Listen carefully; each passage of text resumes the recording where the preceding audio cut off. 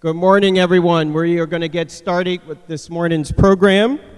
We are pleased that you are able to join us here on the historic campus of Morgan State University as we celebrate our sesquicentennial year.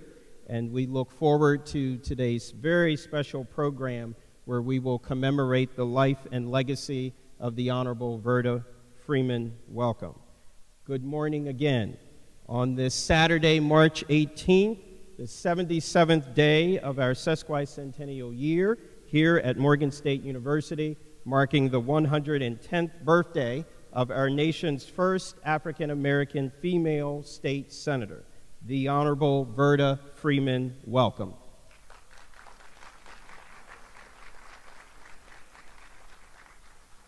I have the distinct honor of presiding over this special program on today. I am Dale Glenwood Green, a professor here in the School of Architecture at Morgan State University, and also the vice chair of the Maryland Commission on African American History and Culture. And it is indeed my honor to preside over this joint ceremony of the Morgan State University and the Maryland Commission on African American History and Culture as we celebrate and commemorate the life and legacy of Verda Freeman Welcome and as we rededicate the Verda Welcome Bridge.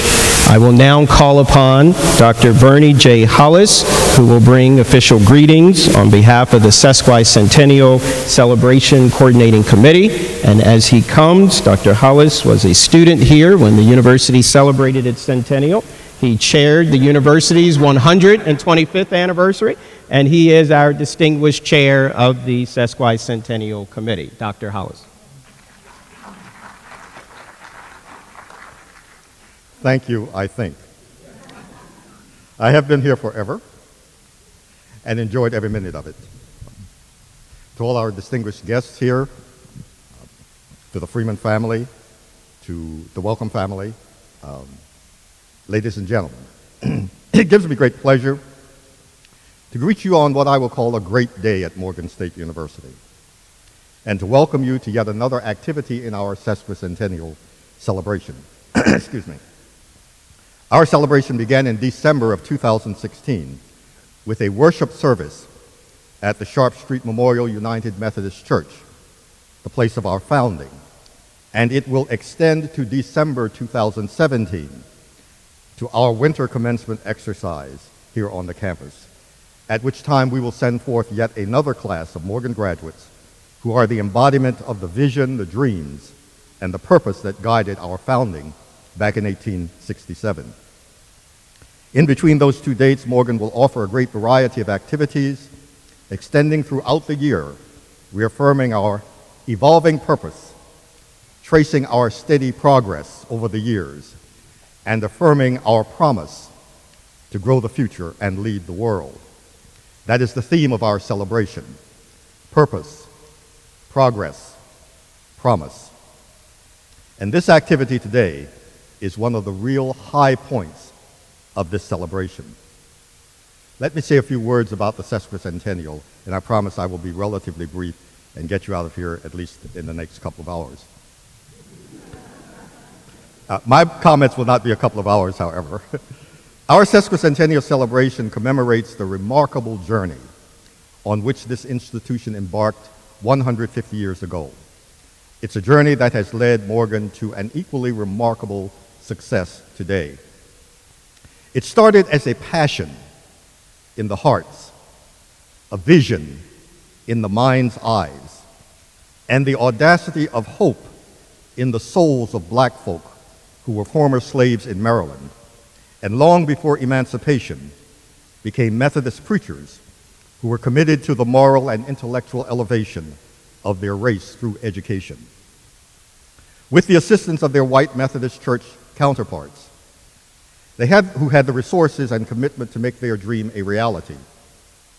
They were able to make a modest beginning with nine male students gathered for the first time for class on April 30th, 1867, in the lecture hall in the basement of Sharp Street Methodist Church.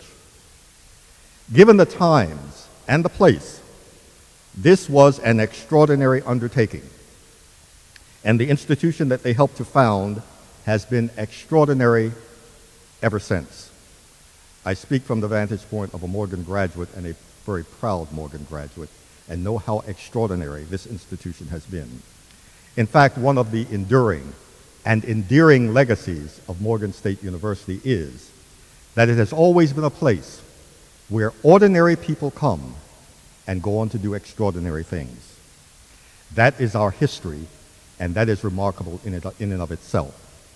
From the Centenary Biblical Institute in 1867 to Morgan College in 1890 to Morgan State College in 1939 to Morgan State University in 1975 and now to the Morgan State University of 2017, a Carnegie classified doctoral research university, one of the nation's premier HBCUs, a major producer of African American degree holders in many disciplines and at every level, the only institution in the nation whose entire campus has been declared a national treasure by the National Trust for Historic Preservation.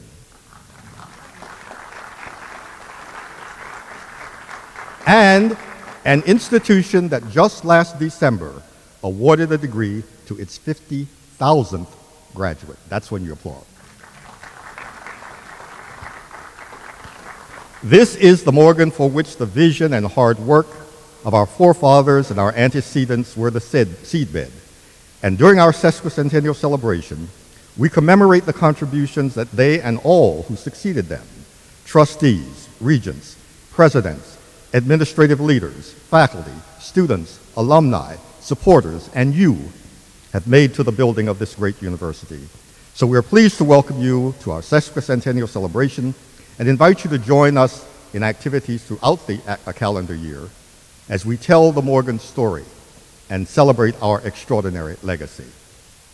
I'm coming to the end now. Today we gather for that very purpose to celebrate the Morgan legacy and to honor a Morgan legend. This is a day on which you will hear the word welcome repeatedly. Not just because we're glad to have you here with us, but we are, but because we have gathered to celebrate the life and legacy of a great lady named Welcome. Verda Freeman Welcome, 1939 graduate of Morgan College, distinguished state legislator and community activist, pioneer in American politics and we are here in her honor once again by rededicating Morgan's Welcome Bridge to her. If I might recast the words of Abraham Lincoln at his Gettysburg Address, I would say that it is altogether fitting and proper that we should do this, and that we here at Morgan once again, today, consecrate and hallow the ground on which she once walked as a student, and the place which she sought, fought so valiantly to elevate from the status of college to the status of university. And so we are very pleased today to partner with the Maryland Commission on African American History and Culture in this ceremony to rededicate the Verda F. Welcome Bridge at Morgan State University and to unveil an exhibit in her honor. So once again, I welcome you to this great day at Morgan State University and to our sesquicentennial celebration. I bring you greetings from the Maryland Commission on African American History and Culture. As Professor Green said, where I serve as a chair and he serves as my partner and also my vice chair. To all of the distinguished guests here on today, I would like to thank you for coming. If you could kind of see what I see from my vantage point, you will be amazed. So give yourselves a round of applause for joining us on today. On today, you will hear over and over again a lot of stories about Dr. Uh, Verda Welcome. She made many accomplishments, but my role today is to share her relationship with the Commission. She wrote the legislation for the establishment of the Maryland Commission on African American History and Culture in 1969 and was assisted by noted Morgan State University professor of history, Dr. Benjamin Quarles. This heroic and heroic act also gave rise to the establishment of our statewide African American Museum, the Banneker Douglass Museum, which uh, came into being in 1984. Since then, the Maryland Commission on African American History and Culture remains committed to discovering, documenting, presenting, collecting, and promoting lives and legacies such as the Honorable Senator Welcome to Maryland's African American heritage. The Maryland Commission on African American History and Culture also provides technical assistance to institutions and groups with similar objectives. Through the accomplishment of this mission, the Commission seeks to educate Maryland citizens and uh, visitors to the state about the significance of the African American experience. As I end my greetings, we didn't just do this, you know, all by ourselves. It took a multitude of people, and I want to take a moment to thank them. To our planning committee, the chairs, Com uh, Commissioner Edwin Johnson and Commissioner Janet Sims Wood, to the Deltas, other organizations, exhibit curators, exhibit designers, plaque designers, graphic artists, publications designers, the wax figure curator, the documentary story uh, uh, quilt designer, and the quilters, hostesses, uh, contributors, and donors. To Miss Mary Sue, welcome and other family members and friends of the Honorable uh, Verda Welcome. We cannot thank you enough for the dedication and the tireless support. The Maryland Commission on African American History and Culture leaders acknowledge and appreciate your hard work and contrib your contributions that you made for the success of this historic day. Please stand and be recognized. So everybody that supported this event in any way.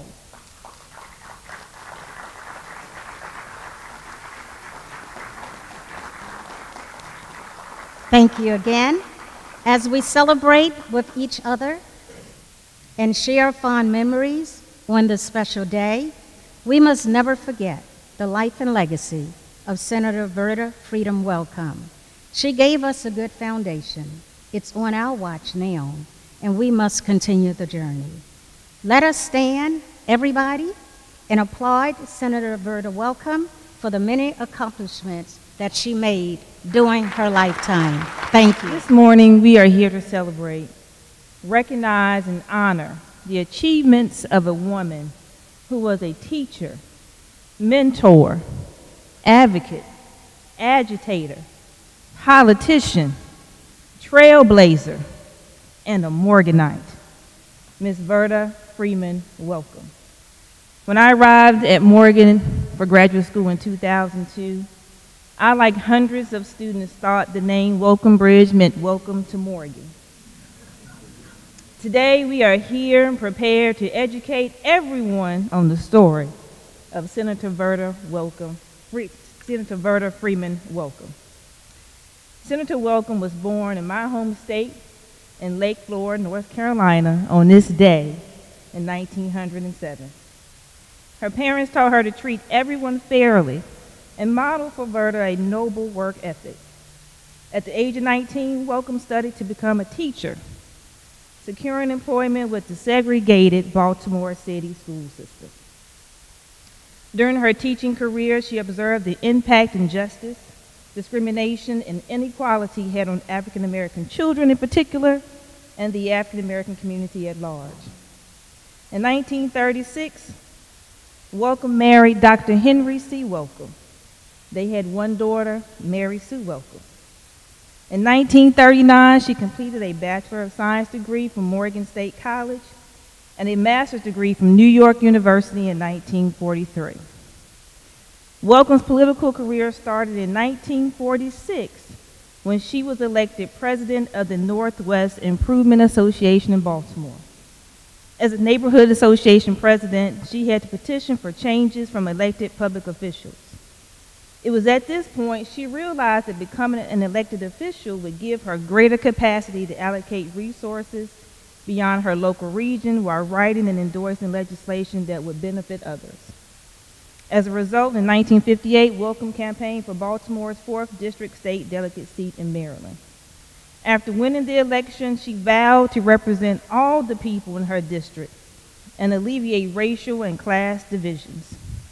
Her record advocated for gun and smoking laws, public accommodations for the blind, legalizing interracial marriages, and ending welfare recipient harassment. In 1962, she campaigned for the Maryland State Senate. This proved a difficult challenge for Welcome because of the adverse response to her gender and race. Verda was not discouraged. She was a Morganite. She fought hard and won, making history as the first African American woman in the nation to hold a state Senate seat. During her 20 years in the state Senate, Welcome advocated for her alma mater by sponsoring legislation which elevated Morgan to university status in 1975 and securing state funding to erect a footbridge over Cold Spring Lane to connect the north and south sides of campus in 1964. For that reason, we are here today to rededicate the most revered landmark on campus, the Verda Freedom Welcome Bridge, and to share her impact on the Baltimore community, the state of Maryland, and her role in the 150 year journey of Morgan State University. Good morning. I bring you greetings on behalf of Congressman Cummings. The Congressman submitted this letter in recognition of this glorious occasion today.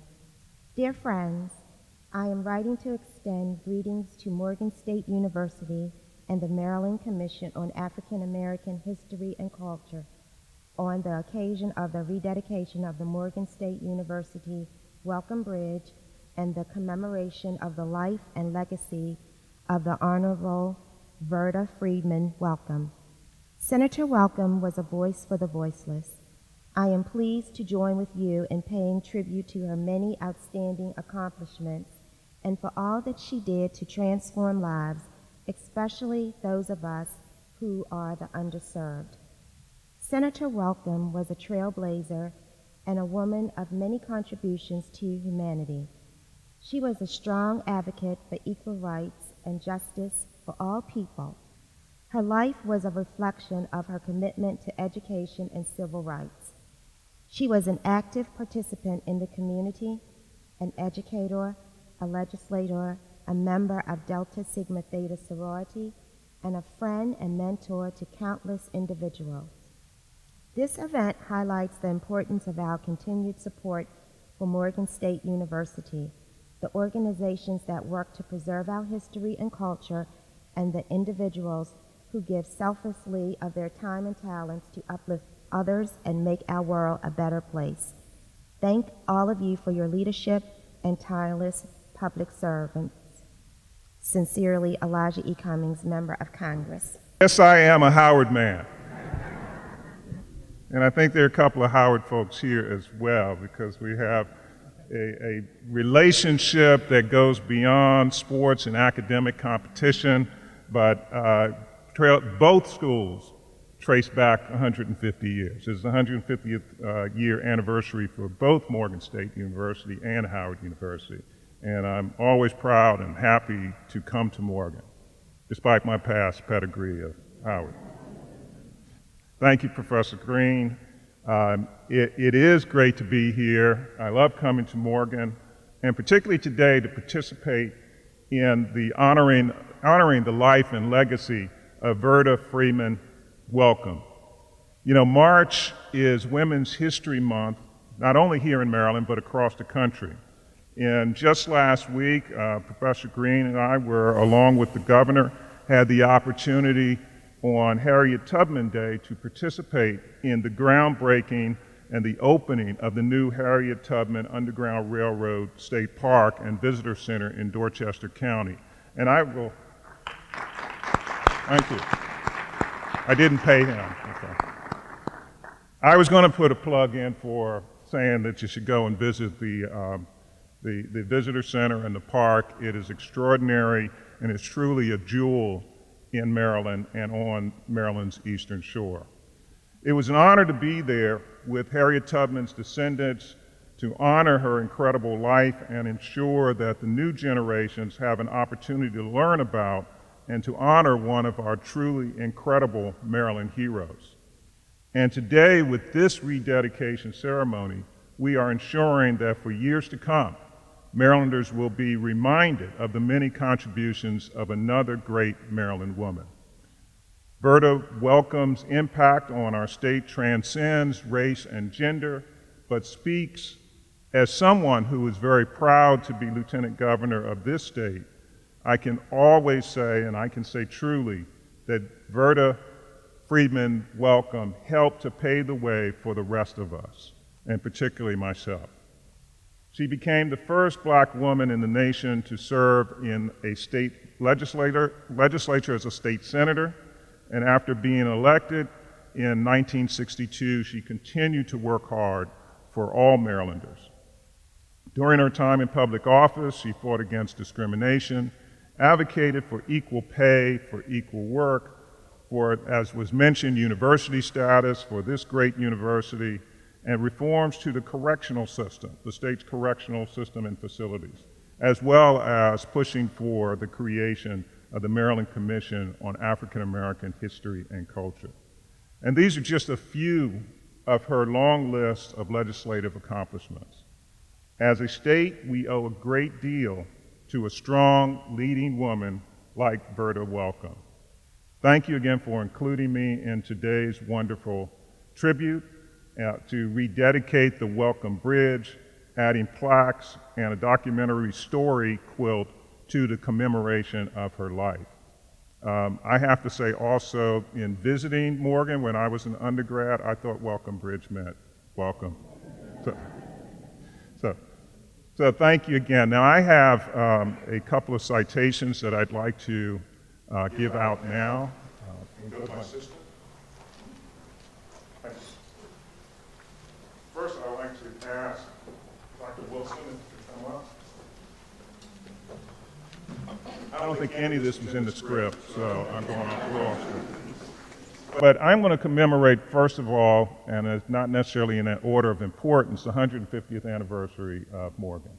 Uh, so I wanted to present this governor's citation that states Morgan State University, greetings. Be it known that on behalf of the citizens of this state, in recognition of a well deserved tribute to Morgan State University as our citizens honor the founding of this historically black and highly respected academic institution, and as the people of Maryland, in expressing our congratulations and best wishes for a very successful and memorable 150th anniversary celebration, we are pleased to confer upon you this governor's citation Signed this day, Lawrence J. Hogan, Jr., Governor, me, and John Wobensmith, Secretary of State. Thank you. Thank you. Yeah, yeah. Uh, uh, Lieutenant Governor, thank you very much. I'm going to ask the chair of our board, the Honorable Kweisi Mfume. I think I saw another board member, uh, Regent Winston Wilkerson, to come forward and officially accept this uh, with me on behalf of Morgan State University. If there are other members of the Board of Regents, would you please come forward?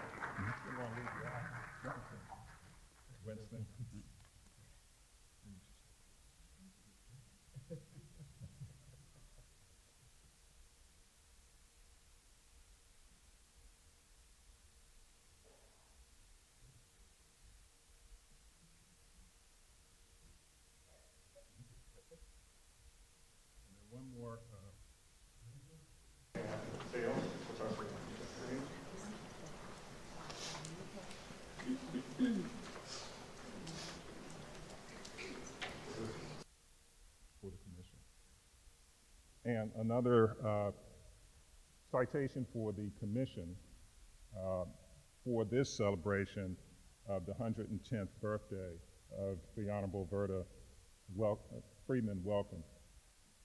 Uh, the Maryland governors, governor of the state of Maryland to the Maryland Commission of African American History and Culture, greetings be it known that on behalf of the citizens of this state, in recognition of your successful efforts to commemorate the 110th birthday of the Honorable Verda Freedman Welcome and to celebrate her life, leadership, and historical accomplishments as the first African American woman in our nation to be elected state Senate seat to a state Senate seat, and as the people of Maryland join together in expressing our lasting gratitude to a distinguished and beloved Marylander, we are pleased to confer upon you this governor's citation signed this day, Orange State Hogan Jr., Boyd Rutherford, Lieutenant Governor, John C. Wobensmith, Secretary of State.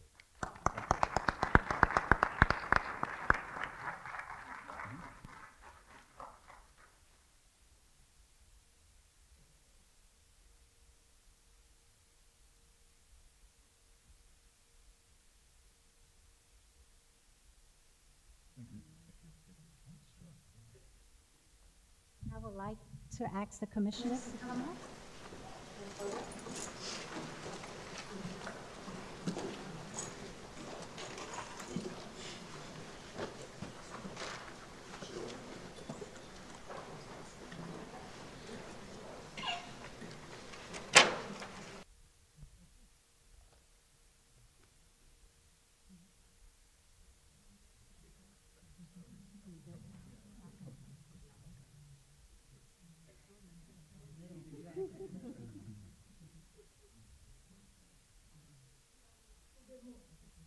way? Oh, behind the. Trying to get the podium out.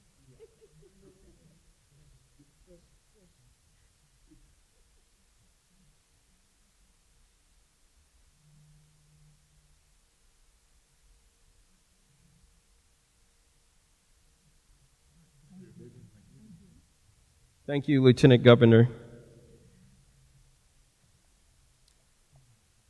We'll now ask that our chairman of the Morgan State University Board of Regents, the Honorable Kweisi Mfume, former congressman and former head of the NAACP, and also one of Verda's boys, would actually join us at the podium.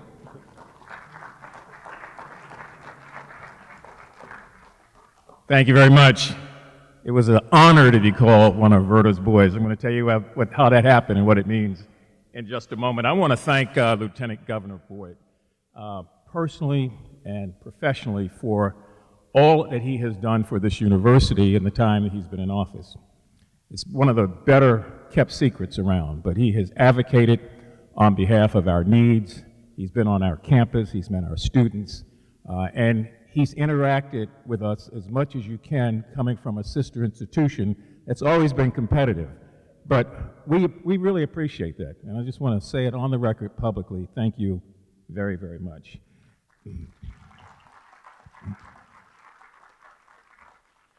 Dr. Wilson, thank you for organizing uh, the people who then organized the sesquicentennial. Uh, they've done a great job. They really, really have. My thanks to you and, and on behalf of the board, our collective thanks. Um, to the distinguished faculty who've come out today and alumni and friends of the university, we say welcome to you also. And uh, I want to particularly thank um, Dr. Bernie Hollis, uh, Dr. Green, and Dr. Edwin Johnson, who have worked so hard on sesquicentennial events that we see the fruits of their work. Uh, we don't always get a chance to see the labor, but they labor very hard.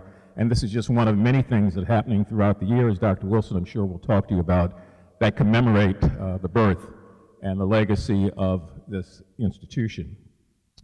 Um, it's a special honor for me today because 39 years ago this month, Verda Welcome invited me into her home.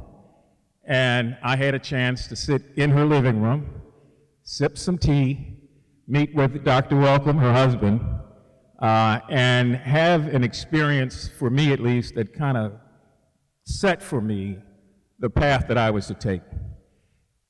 If Verda Welcome had never done that, trust me, I would have never gotten elected. Verda didn't know who I was from anything else, but she heard about this young guy that's running around and he's out of school and he's got all these Morgan classmates and he's talking about running for city council. And uh, to her credit, she brought me in and talked to me about what I wanted to do and what I should do and what I needed to do uh, to be victorious. Uh, and let me just say this Verda, excuse me if I say Verda sometimes, because she gave me that permission many, many years ago, 39. But Senator Welcome had such grace and poise, poise and, and distinction and etiquette, and she had a presence about her that wherever she went, you kind of sensed there was something different and special about this lady, and there really, really, really was. Uh, I see Delegate Nathaniel Oaks in the back. He remembers those early days. I was looking to see if I saw a photo in here, but didn't see one. Um, but Nat remembers what it was like in those days. And Baltimore was divided in a lot of political clubs. You know, you had uh, the 40th District Club, which was uh, Senator Welcome's club. You had Metro Democrats, which was Little Willie Adams' club. You had the 41st group, which was uptown. Um, and I, I decided that I was going to uh, run for office without asking anybody, without talking to anybody. You know how you are when you're young and rambunctious. I just said, it's my time. Um, and I developed this campaign slogan and just put it on posters that said, beat the bosses. Well, that was interesting because the district I was running in, there were only two organizations that controlled things. It was Little Willie Adams's and it was Verda's. So when Verda brought me into the living room, she said, now young man, tell me, who are the bosses you want to beat? I said, oh ma'am, I'm not you, not you, Senator, not you, not you. And uh, Willie Adams asked me that also. I said, Not you, not you, Mr. Adams, not you. Uh, but it was so funny. And she said, Look, I trust you. I have spent hours with you. I feel you, and I want to support you, even though nobody else was supporting me. No one. I kid you not, no one. Um, other than my pastor. And, and Verda worked with me and caused me to understand what it meant to be in a leadership role. So, because of her stewardship of the legislative process, because of her leadership throughout the state of Maryland, and because of her friendship that she willingly gave to so many people like myself, this is a very special moment, particularly here on her 110th birthday. Um, I was looking through this uh, brochure, which is very well put together. Now, I had not seen this picture before. Verda was to kill in this picture. She got a fur wrapped around her, and woo, man. Uh, and it's interesting to go back and look at these pics because, you know, this picture of her and uh, JFK, this was actually 1960. He came back after he got elected and spoke in Baltimore in 1962 at the 5th Regiment Armory. And he wanted to make sure one person was there among all the others did you invite Verda Welcome? You know, that's, that's, that's very, very poignant and key because in those days, he didn't have to do any of that. But Verda was there, along with Louis Goldstein, who introduced him that night. I'm looking at uh, this picture of her and uh, Pete Rawlings, the late Pete Rawlings, the late Troy Brailey, and the late Olin Moyd. Uh, this was the ticket that I remember her putting me on that year that caused me to uh, end up being victorious. Now, when you win, as I did, the closest election in the history of the state of Maryland in that year, in 1979, the following year, was by three votes. And my grandmother said to me, Boy, as long as you are black, you just remember that was the Father, the Son, and the Holy Ghost. and I remember. so, happy birthday, Verda. Uh, you know, Verda knew that she just tolerated me. That's the only way I can say it. And she knew that I was absolutely smitten by her daughter, Mary, who was here with us. Actually, smitten was too mild a word. I was head over heels about Mary. Mm, mm, mm. That's another story. so good to see you. Right. We'll keep the rest of it. So, what did we say about the Honorable Verda Freeman Welcome on this, her birthday, and on this, the rededication of the bridge named in her honor, and this on the campus that she loves so very, very much?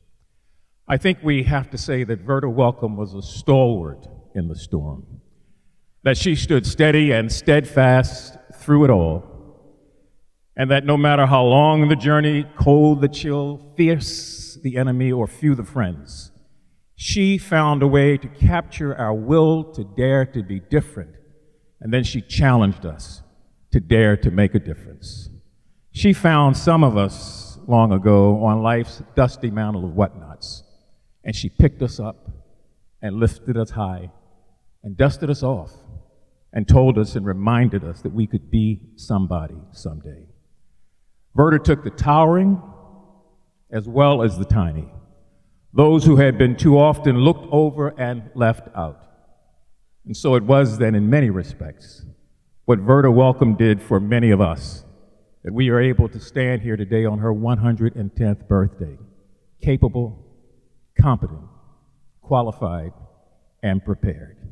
Happy birthday, Verda. Uh, good afternoon. You know, when you follow Kweisi Mfume, you can just say, enough said, and go and sit down, right? Uh, and so uh, thank you very much, Mr. Chair, for uh, really taking us down memory lane in terms of your own personal experience with Senator Welcome, as well as what she meant for the great history and legacy of Morgan State University. And so um, I will be brief in my remarks. I'm not going to uh, recapitulate uh, the great history of Senator Welcome. That's in your program, and you've heard it from previous speakers.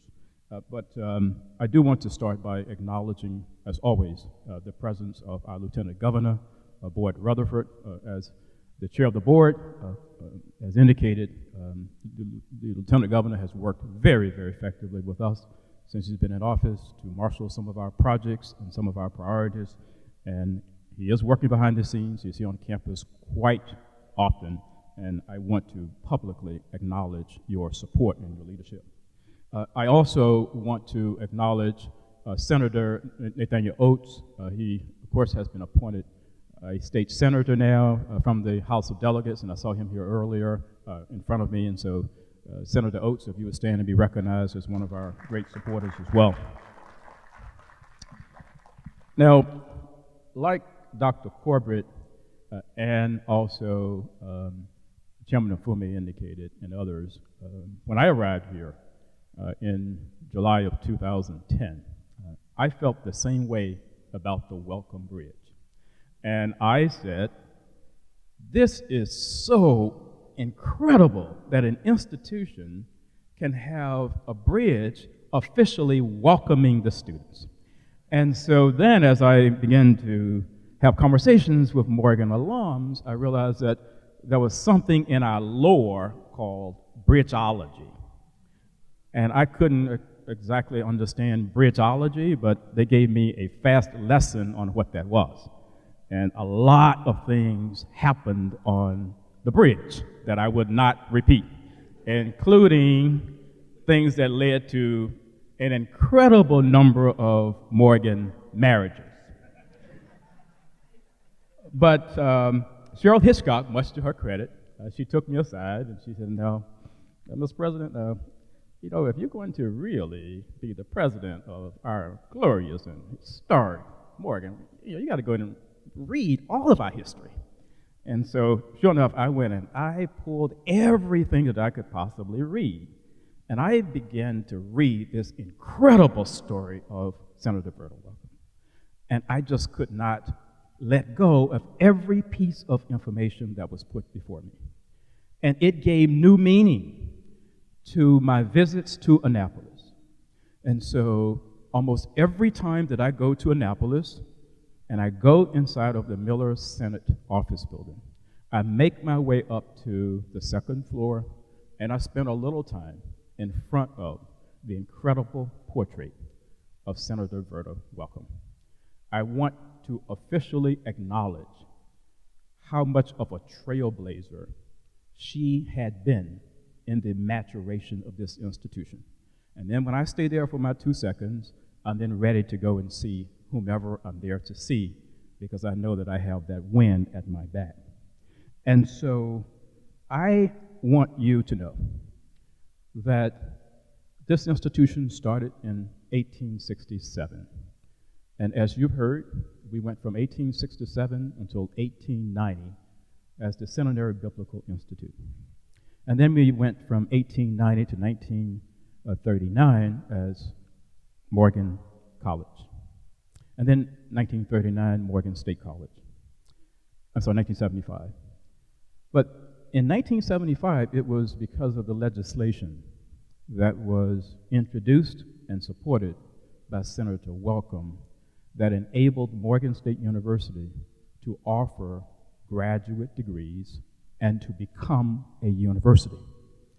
And so, as a result of that, we offered our first PhD in 1979. That would never, ever have happened without the support and the vision of Senator Welcome. And so, I'm standing here today to say to her in spirit that what you birthed in 1975 that gave rise initially to one doctoral degree has since given rise to 16 doctoral programs, has since given rise to nearly 50 master's degree programs, that has since given rise to nearly 1,500 graduate students, and that has since given rise to the Carnegie Corporation for the Advancement of Teaching naming Morgan State University a national research university. That is simply remarkable.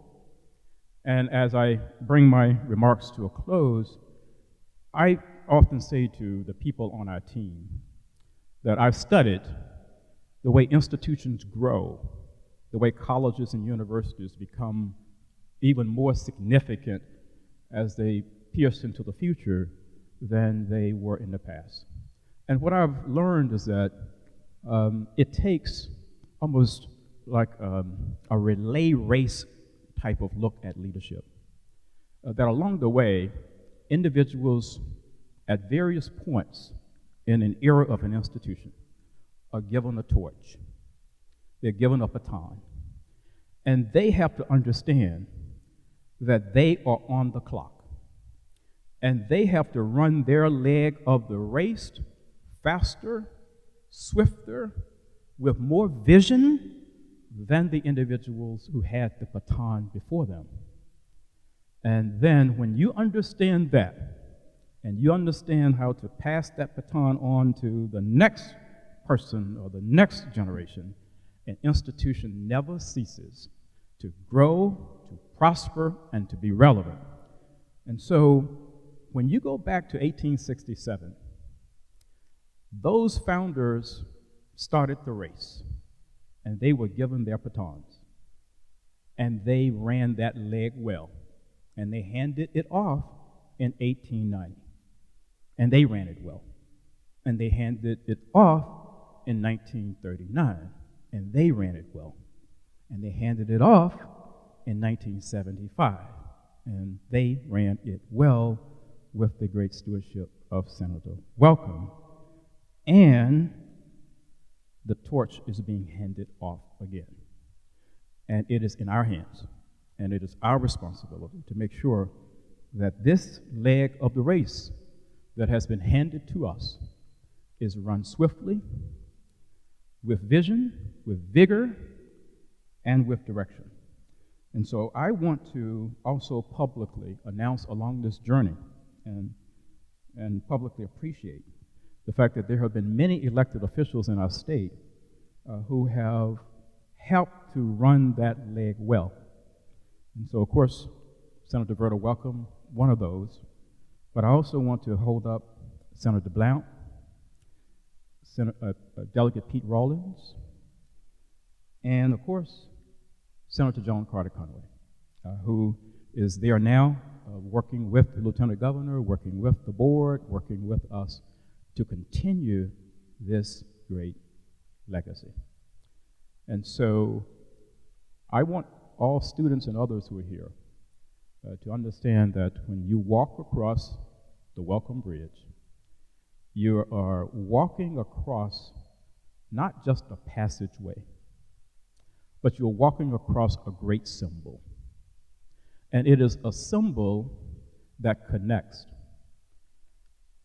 the historic portion of our university, the historic quad, to the mall and the West Campus and the future. So, all those buildings in our quad, they're legacy buildings. The bridge connects these two things, the past with the present, with the present.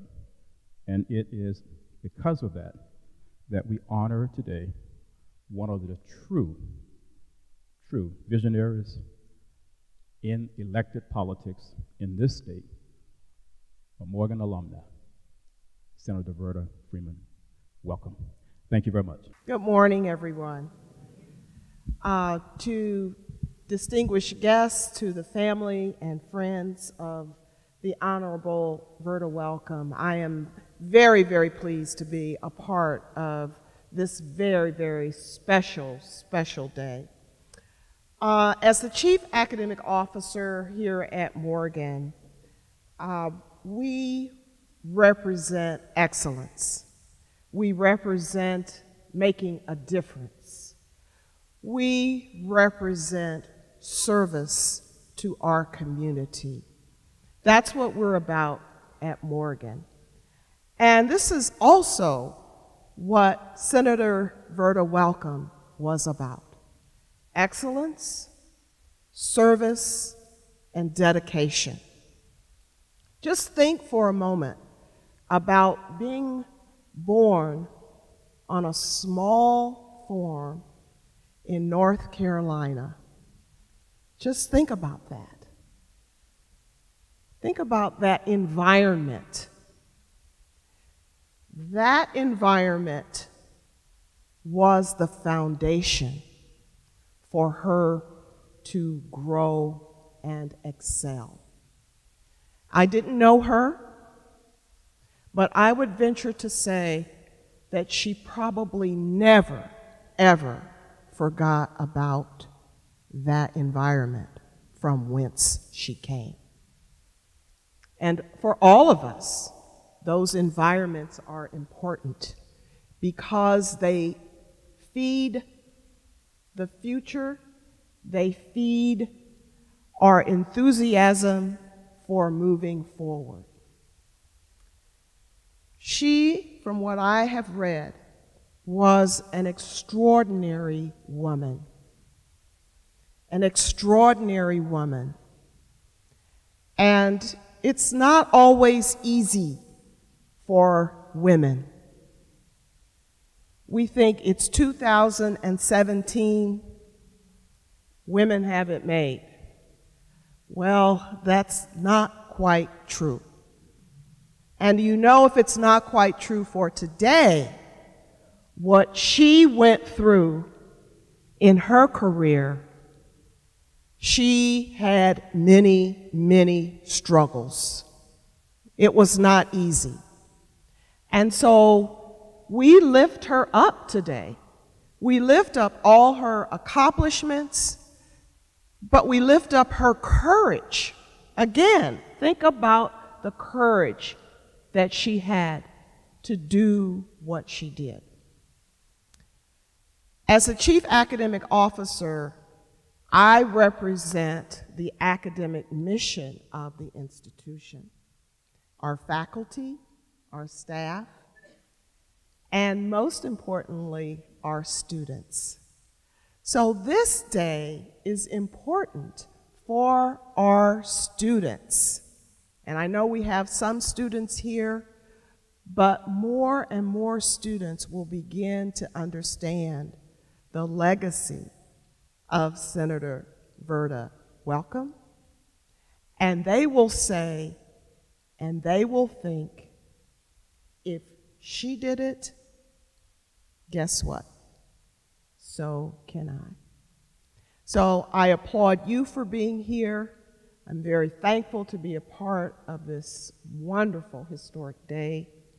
And I look forward to the unveiling and the celebration of Verda Welcome. Thank you. Good morning. I am Kayla Nate Lawrence, a senior at the illustrious Morgan State University, where I proudly serve as Miss Morgan State University for the 2016-2017 academic school year. I bring you greetings on behalf of the Student Government Association, led by President Joy Griffin and Vice President Nadif Bracy. What an honor it is to stand before you all today as a representation of my university and the students who attend this national treasure to honor such a revolutionary woman, the Honorable Verda, Verda Freeman Welcome. A woman who was the epitome of selfless service, who not only advocated for constituents of the state of Maryland, but utilized her platform and her voice to advocate for her university. It is because of the footprints she imprinted in the, in the sand that we, the Student Government Association, uphold the importance of advocating for students on our campus and instill the importance of ensuring that the student body joins us in ensuring our university is held to the prestige it rightfully deserves. It is no accident that we are gathered here today during Women's History Month to celebrate the legacy of such an impactful woman in the history of Morgan State University. And as we rededicate the Welcome Bridge today, the Student Government Association vows to ensure that students who cross the bridge understand the power that lies within the name of one of the many pivotal landmarks on this campus, the Welcome Bridge. I proudly crossed that bridge during the freshman Promethean Walk in 2013. But in May of 2017, I will walk across that bridge with purpose because I understand the history of such an honorable woman. So today, I thank you for allowing us, the student body, and I am a representation of them, to join you in rededicating the Verda Welcome Bridge. Thank you. Good afternoon. I am here to talk about the Grand Lady. Will all the Deltas in the house please stand?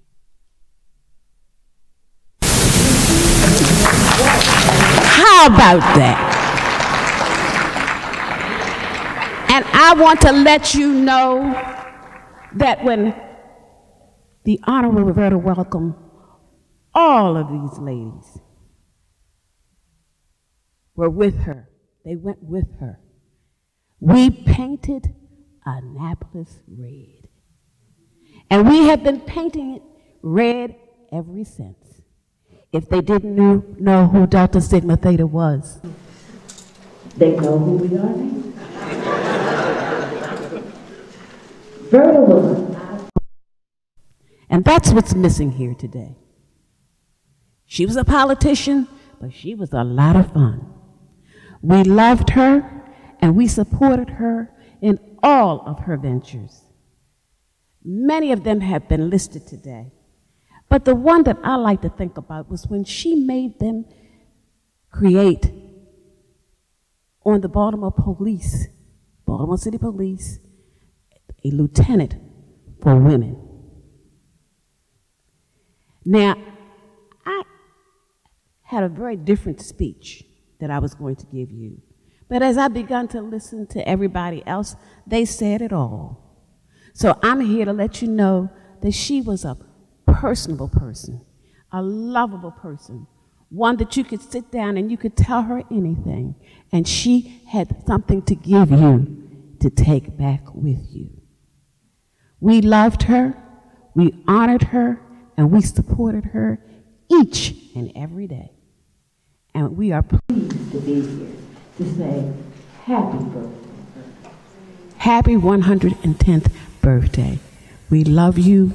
We love Sue, who I worked with as president of our chapter. And it's just, this is just a glorious morning. I know no other way to say it. It's a glorious morning. And Verda, this is your morning. Thank you. God is good. She lives. She lives.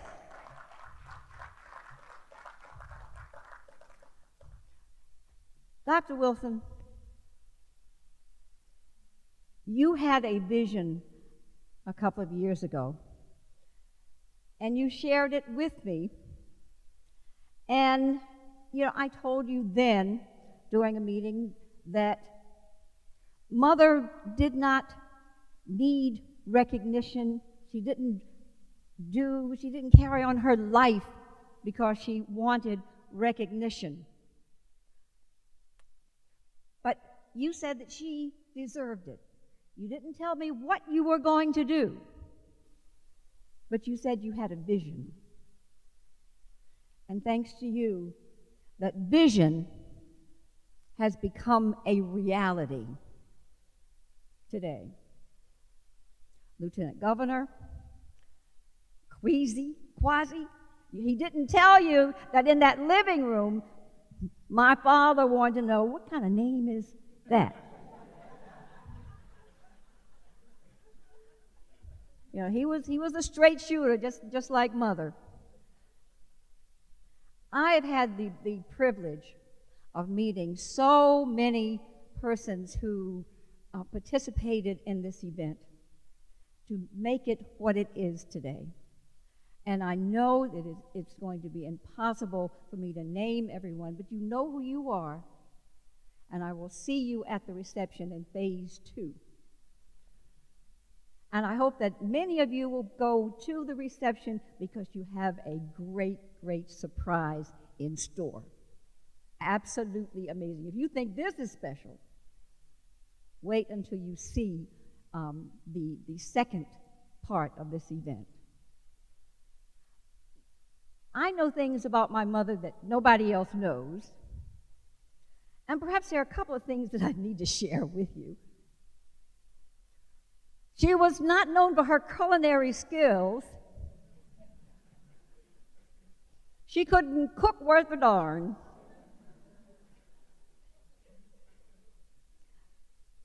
She was a disciplinarian.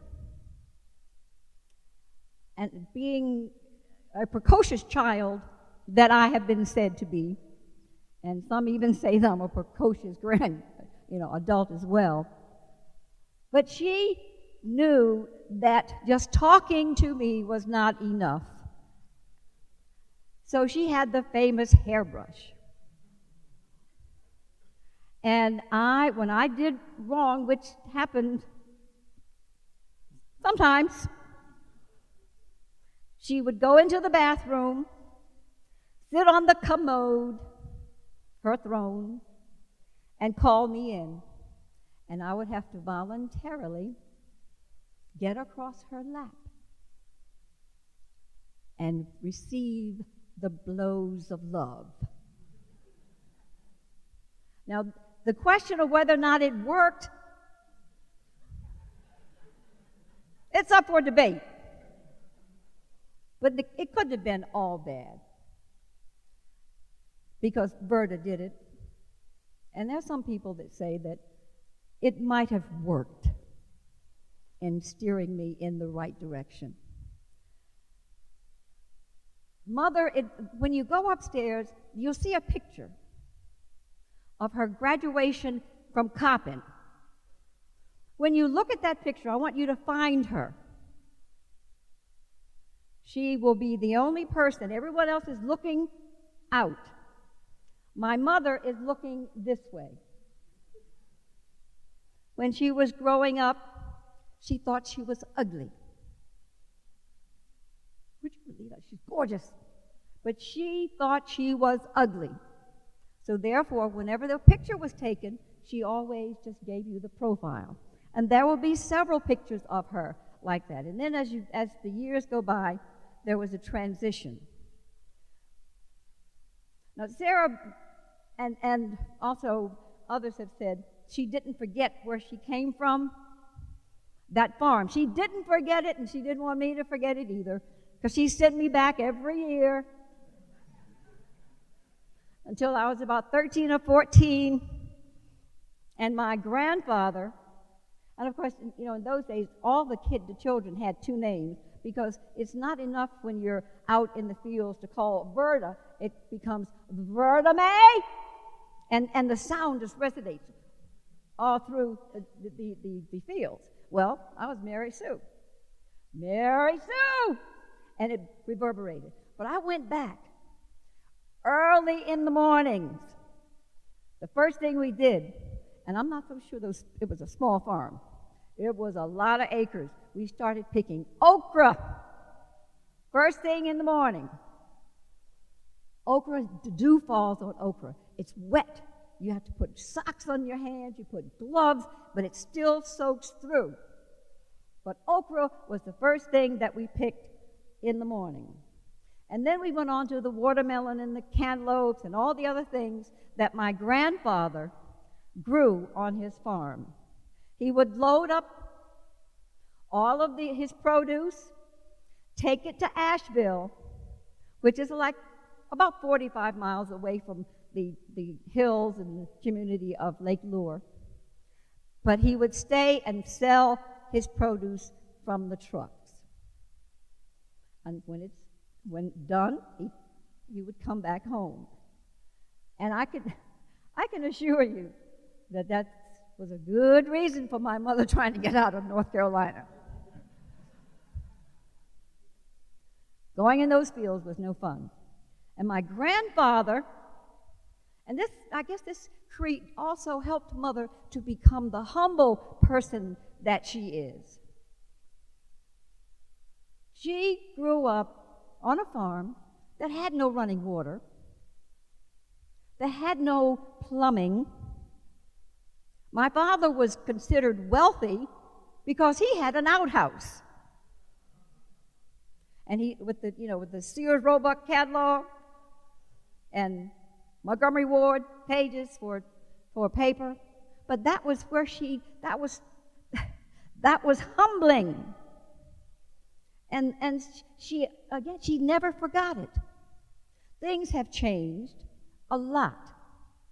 But the teachings of my, grand, of my grandfather, her father, Papa, and all the children that he had, most people said more children he had, the more free labor he had, because from the time you were three or four years old, you were out doing something on that farm. So we all, all of the children, the 15 children, and then he had a couple more after his first wife died. He married someone else and had a couple more. But all of those children received strength and the humbleness that comes from having a large, loving family. So when my mother escaped, she came and began her life. My father, and we, we, he was so special. He loved his Pally. He loved his Pally. And she loved him. They were Pally and Pally. And he loved he loved me.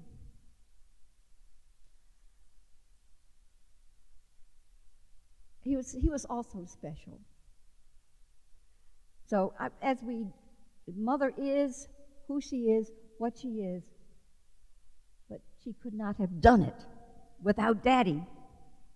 So as you remember her, certainly I want you to remember daddy. Now daddy did have he has a, um, a relative here, and I want to acknowledge the fact that I did, I did have some relatives that came in from North Carolina. My sister Verda's children, Stan, and, and, her, and her children. My father's nephew, Henry. I have to tell you, as I mentioned my father, my father was an immigrant immigrant from Honduras. And I, I, while I was collecting items, I found his, his uh, immigration papers. So it's, he came and became a doctor. It's really wonderful that those borders were not closed.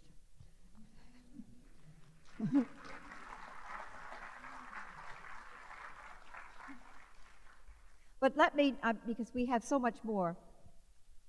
My mother, if she were here today, would say she appreciated all that you're doing, but she would be thanking you.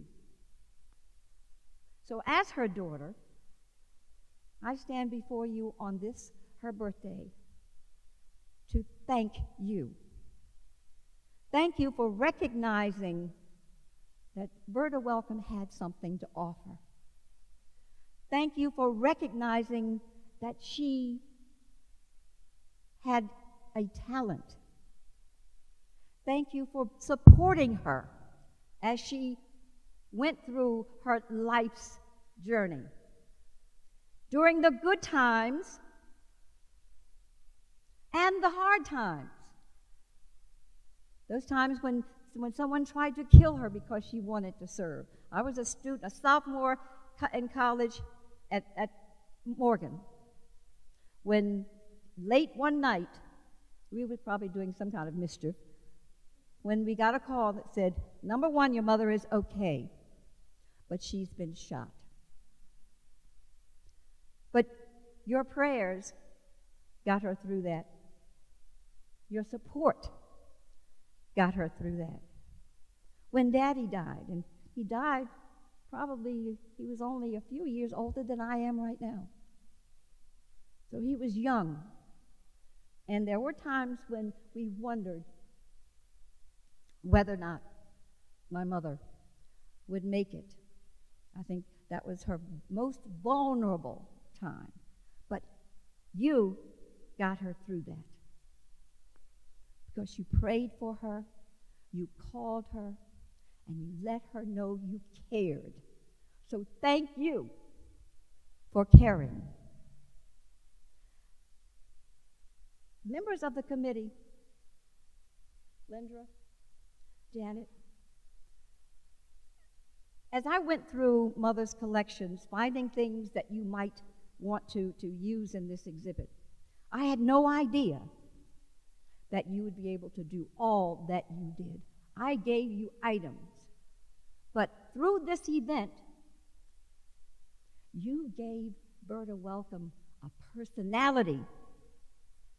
Because there's so many people who, who knew her as the political figure, who knew her as being stronger than the strong. But you, as you go through this exhibit, you gave her a personality. When people walk across the bridge, it's not just a name. It's not just a woman who left North Carolina and came and gave so much of her life to the service of her, her people and the community. But there was a woman, a lovely, caring personality that went with that. And you've captured it. And all the things that, that you have said and done, and those things that you will see as well. She would say thank you to those who allowed her to be a mentor. You know, we all can say, hey, I've got something to give. But unless you are ready to receive it, it doesn't make any difference. You allowed her to mentor Joan Gaither. You allowed Lisa Williams, people, so many. And I know if I asked you to raise your hands, a lot of hands would go up. You allowed her to share her life with you. You were receptive and you were appreciative, which kept her going, which motivated her that she could do more and more and more. So,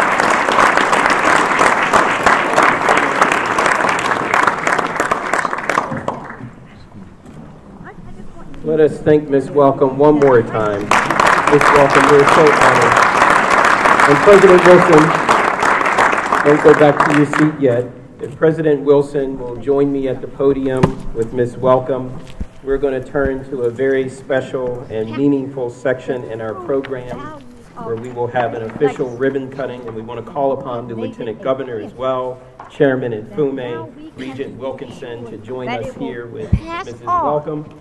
And I'm going to call on the assistance of Ms. Angela Gaither Scott and Commissioner Donna Cypers, who will assist with the ribbon as well as the large scissors. So as we get prepared, and if I can have President Wilson and Lieutenant Governor stand in this vicinity, Chairman Mfume is welcome. Those persons that served with her. Scott will bring the ribbons. We hope that it will. This is good? This is good. Okay. Take a chance. Make a pathway. Chip away at those things that block the serenity of, of, of our lives, that keep us from having the true dignity that we are enjoy. We want this day to be the beginning of the day. As many of you are aware, we were not able to do this out at the bridge due to the weather, but we thought that it would still be appropriate to bring the ribbon cutting ceremony inside in honor of rededicating the Honorable Verda Welcome Bridge. And so in the spirit of that, if we want to count down. Five, four, three, two, one.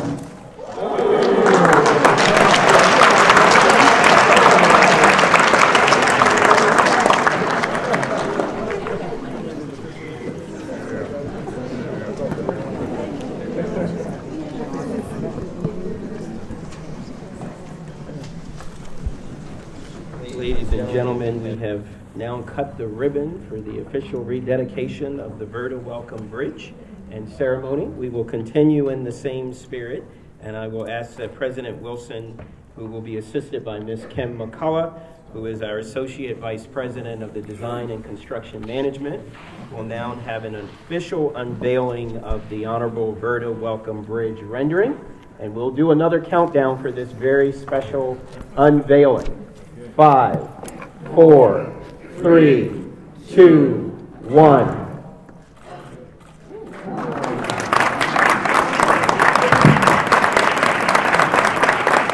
I'm going to ask that President Wilson share some brief details about this bridge. Actually, um, we have come up with a new rendering for the Verda Welcome Bridge, and this rendering will bring the bridge uh, in conformity with our legacy bridge that stretches across Hillen and East Cold Spring. Uh, I do want to express my appreciation to Ms. Kim McCalla uh, and the uh, wonderful planners and architects that we have at the university uh, who actually, with much input, uh, have put forth this particular rendering, and we will be working in the coming months, in the next couple of years, uh, to make this a reality. And so uh, I'm not sure there's much more that uh, we can share about this, uh, other than the fact that uh, we are really on a quest here at Morgan uh, to make sure that we don't have many of our hidden treasures uh, who will remain hidden.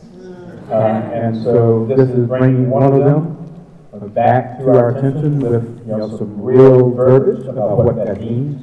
And I think some of the verbiage will be on the plaques that we will um, unveil a little bit later, and they will be at the foot of the bridge. So as students and others then begin to enter the bridge, you will know Mary a little bit more about your mother and our leader. And uh, let me just say, uh, I'm going to have the phone again, uh, the microphone's on March the 29th uh, at 2 o'clock in this space. Uh, we will also bring alive again uh, another hidden tre- treasure here at Morgan, uh, Ms. Enolia McMillan. Sorry, March 30th, March 30th at 2 p.m. Um, and in this space is going to be a permanent exhibit honoring her as one of this state's and this nation's uh, most incredible civil rights icons. Uh, so March 30th, 2 p.m. for the next ceremony, bringing yet to our attention again a hidden treasure of Morgan State University. Thank you, Dr. Wilson. We will now turn to the unveiling of the plaques that will be installed at the appropriate time at the bridge. And I'm going to ask that President Wilson and Chairman Mfume, along with our Lieutenant Governor, will join me on this side as I call upon our very special donors. We were very honored to receive a significant, two very significant donations from, well, uh, Chairman Mfume to the left of the uh, plaque there, and President Wilson, if you'd stand by. Chairman Mfume, the first one will be there, and Lieutenant Governor, if you'd stand by, Ms. Welcome. And Regent Wilkinson, if you join Chairman Mfume and President Wilson on that side. I want to introduce the two donors for our first plaque. Mr. Waden Wedderburn, class of 1994, and his wife, Mrs. Annette C. Wedderburn, class of 1992. If you would join President Wilson and Chairman Mfume, Regent Wilkinson, and our Lieutenant Governor, along with Ms. Mary Welcome. And your plaque is here, and we will do a countdown on the unveiling of your plaque. And we thank you for your most generous donation towards this effort.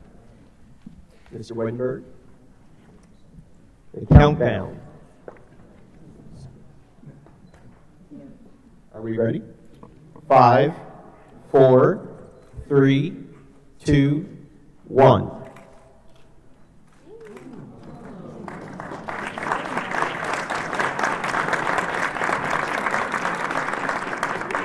And so now for everyone that will travel across the Honorable Verda Welcome Bridge, both its north end and its south end will feature bronze plaques that will be installed at either end of the bridge. And they will re-honor the Honorable Verda Welcome. They have her date of 1907 to 1990, Morgan State College class of 1939, and brief history of her legacy from 1962 to 1975, leading up to the Morgan State University status. And so we are very grateful for Mr. and Mrs. Wedderburn, class of 92 and 94, for their most generous donation, making these plaques available to the north end, which is the academic quad side of our bridge. And they were the first donors to come to the table, and we are very appreciative of their donation. Thank you.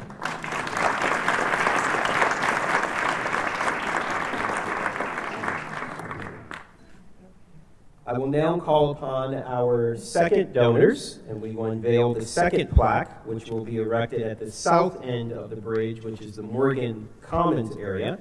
And so I'm going to call upon Ms. Debbie Tajani, who is the Delta Sigma Theta Sorority Incorporated Eastern Region Maryland State Coordinator, who will be joined by Ms. Sarah Howe Smalling, who is the past president of the Baltimore Alumni Chapter of the Delta Sigma Theta Sorority Incorporated. And I'm sure you all understand that I cannot invite all the deltas up around the plaque. and so we'll have President Wilson, Chairman Mfume, Regent Wilkinson also joining here on you know, even a Okay, this is good. Come out a little bit. Okay, great. Are we ready for the countdown? Five, four, three, two, one.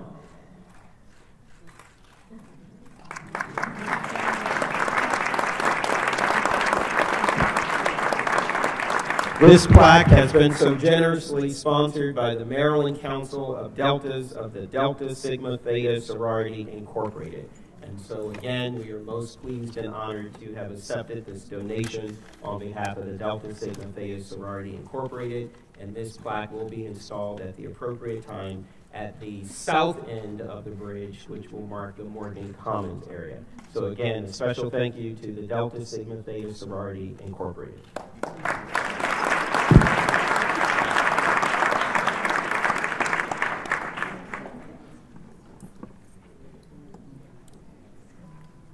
Thank you, Chairman Mfume, President Wilson, Lieutenant Governor, Ms. Welcome, and Regent Wilkinson. As we close, as Ms. Welcome has said, this phase of our program, and we turn to the celebratory reception, we will ask that the Delta Sigma Theta Sorority Incorporated and the respective members close us in their song of We've Got Delta Power as we lead and process out to the third floor terrace where this reception uh, for the Honorable Verda Welcome will continue, where we will have the unveiling of the traveling exhibition, the wax figure from the Great Blacks in Wax Museum, the story quote that has been produced by the committee and Dr. Joan Gaither, as well as a special tribute. And so without any further ado, the members of the Delta Sigma Theta sorority will close us out in a procession to the reception with the We Got Delta Power. who we see who we need. We don't have to run, don't have to hide, cause we got something burning deep inside. Hey, hey, hey, we got Delta power. and it's the greatest power of them all. Hey, hey, hey, we got Delta power, and together we can fall. Hey, hey, hey, sometimes we're up, sometimes we're down, but our feet are always on the ground. Hey, hey, hey, smile, frown, we Delta Sigma Theta bound.